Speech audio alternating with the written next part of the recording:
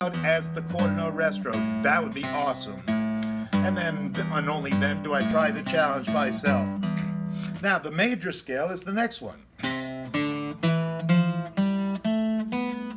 I want to think of that in terms of the chord.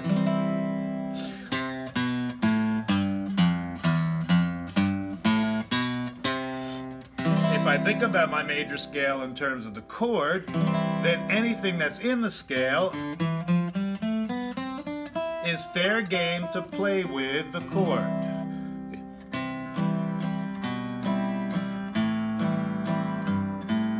All I'm doing is walking down my scale. That's it, C in the bass. I have to take my second finger up to get the B because that's the only solution that makes sense. And I can't hit the D, so I just hit the top three strings. Then I take the finger back down to the, looks like an A minor 7, hit the A, and then I go to the G in my bass. And there's a walk down using the bottom part of the scale. Now, I can do it going up.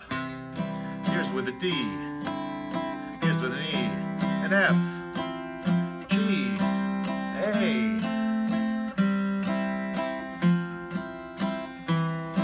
I happen to be using a 3-4 rhythm. I'm going one, two, three, bass, strum, strum.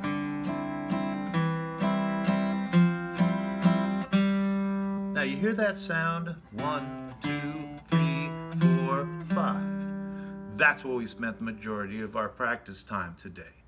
I'm instead of taking like two strings, what I'm doing is taking the, the, the nuts and bolts of the chords themselves that are in the family of the in the C family.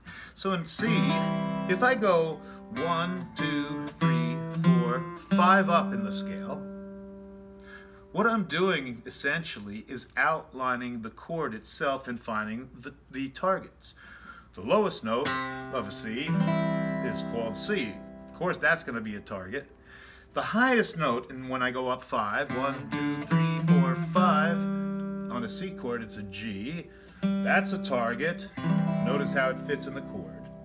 To find the in-between target, really all I'm doing is skipping every other note. So C, I skip the D, and I go to E. And there is my target. So there are the three targets.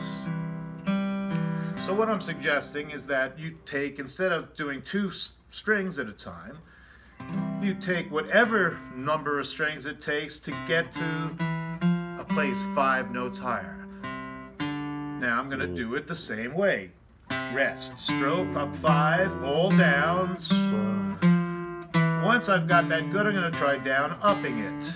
Down, up. Be consistent with the alternate picking. And only, I am not interested in speed at all, of course, but as you get better, you will speed that up. Now, this 2 chord is built on a D minor. To find its five notes, I have to start with the D, not the C. And I walk up five places and I count one, two, three, four, five. That means the lowest note I played and the upper note I played are targets, and they're going to sound really sharp against that D. Now the middle target is three up, or one, two, three. So that means the F is also a possible target.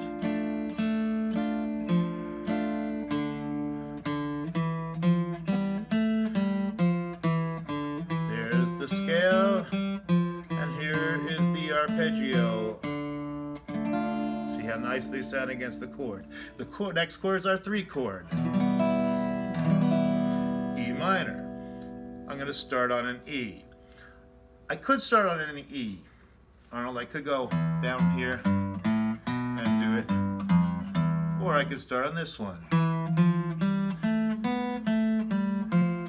Alright, pick one or the other for right now. Just kind of get one set this week. So I'm going to do it with rest strokes, nice and sharp. Then I can do it down ups. Now, once you can do that comfortably, try to find the chord tones, which are our targets. E. I skip over the F and go to G. I skip over the A and go to B. So there are my targets. By the way, those targets are all underneath our fingers. If they are, I want you to practice them down, up, down, up, down, up, down, up. This motion is just like strumming eighth notes. So this is going to come in mighty handy and just take your time and go slow right now. The next place up from E minor is our F.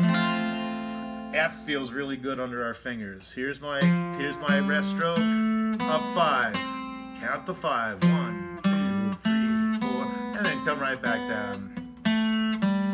Get it good with the rest stroke.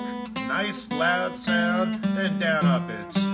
If you can if you can match the sound on the rest stroke with the down up, you are rocking it. Now it turns out I skip every note F. I skip the G, goes to A. I skip the B, I go to C. So it's again right underneath my fingers, the arpeggio. Now the next one is our five chord G. I could start at the bottom and get this one, two, three, four, five, but try it up here this week where it's open, um, or one, two, three, four, five. You know the notes in the scale. So do that rest stroke. Then do it down, up, and get it nice and accurate. To make find my chord tones, my, my targets, it's the bottom one and it's the top one. The in-between one is the open B right? Because I skip over the A. One, two, three. Oh, there it is. One, three. I skip over the C, and there's the D.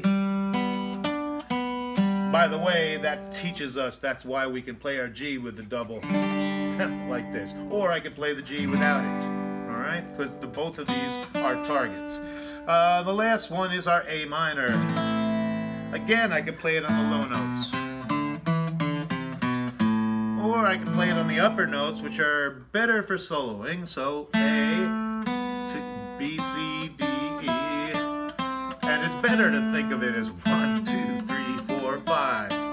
Just count the fives. After a while, the feeling of going up five is going to just sound right. And don't forget to down up it and our arpeggio A. I skip over the B, I go to C. Up and I skip over the D, go to E. Once again, they're right under our hands. So the only one that really wasn't right under our hands was the G and the D minor. Mm -hmm. All right, that's that was the main thing today. We talked about a little about upper lower neighbors and passing tones. Passing tones and lower neighbors. If I go from the C as the target and I go up one and come right back to the C, that's going to sound really good against somebody playing a C chord. If I go down one place in the scale, but come right back to the target, that'll sound good.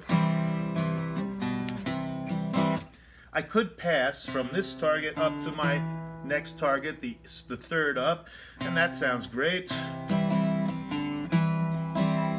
I could circle that target there, go up above it, come right back down or I could go below it and come back. Or I could pass up to the to the one that's five places up, do, re, mi, fa, sol. And of course I could surround that as well. We're going to work a lot with this idea of the five note concept in terms of improvising. I know that that felt a little funny today, but we're going to do it until it becomes comfortable. So do not worry. It's a whole new idea for you.